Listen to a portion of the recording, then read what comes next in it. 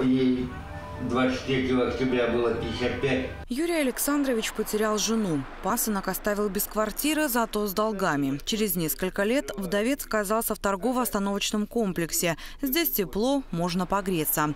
Больше идти некуда, говорит бомж Юрий. Где не зайдешь, вот, даже вот где погреться, что гонят, говорит, иди в теплую остановку. Вот. Это так в магазинах говорят? Да.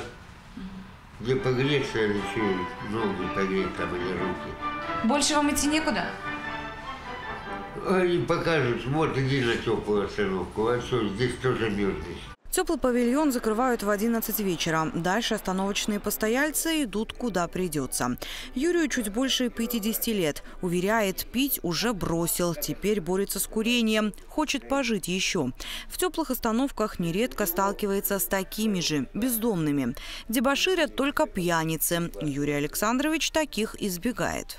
Конфликтуют только, знаете, словесно, а я сам такой, что я как бы верующий и стараюсь не материться. В теплой остановке немноголюдно. Несмотря на мороз и поздний час, пассажиры предпочитают ждать транспорт на улице. Специфический запах могут выдержать немногие. Павел Власов уверяет, его не смущает соседство с человеком без определенного места жительства.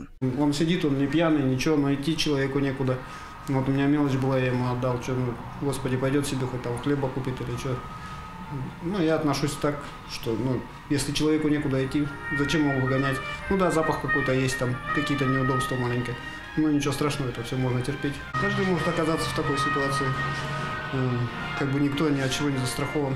С этой точкой зрения согласны не все жители Омска. Шквал жалоб буквально взорвал социальные сети. Горожане то и дело фотографируют бомжей в теплых остановках и публикуют снимки, сопровождая их возмущенными комментариями.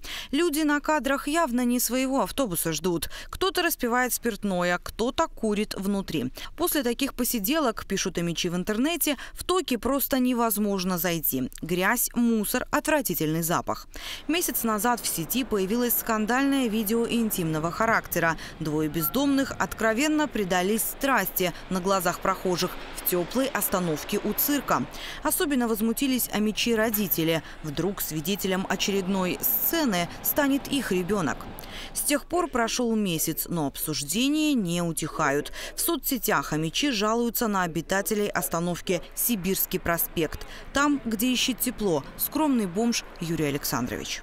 Не часто, но так вот по, по вечерам, по утрам сидят, а чтобы, чтобы на- ночевать не видели. Просто сталкиваемся с тем, что мечи высказываются против вот таких ночлежек. Вы как считаете? Нет, я, я не против, ну, холодно, погрелся, за- зашел. Сочувствуют многие, однако и опасения тоже высказывают. Преимущественно женщины с детьми. Мне очень э, понравилось, что там сидят такие вот люди. Ну, им куда деваться-то некуда, конечно. А, а рядом все стоят и посматривают, зайти или не зайти. А почему боятся, как вы считаете? Ну, наверное, может быть, инфекции. Вот сейчас такое время, каждый боится. Вот, все ходим в масках, все это. Ну, опасно же все это. Ну, и они немножко бывают агрессивные. Я бабушка, я всегда переживаю за своих внуков. Как-то надо с этим бороться, ну, не знаю, может быть, как-то а, объяснять людям, что ну, нельзя так. Полиция и охранные службы могут пресечь распитие алкоголя или курение в общественном месте. Однако выставить человека из теплой остановки на улицу не имеют права.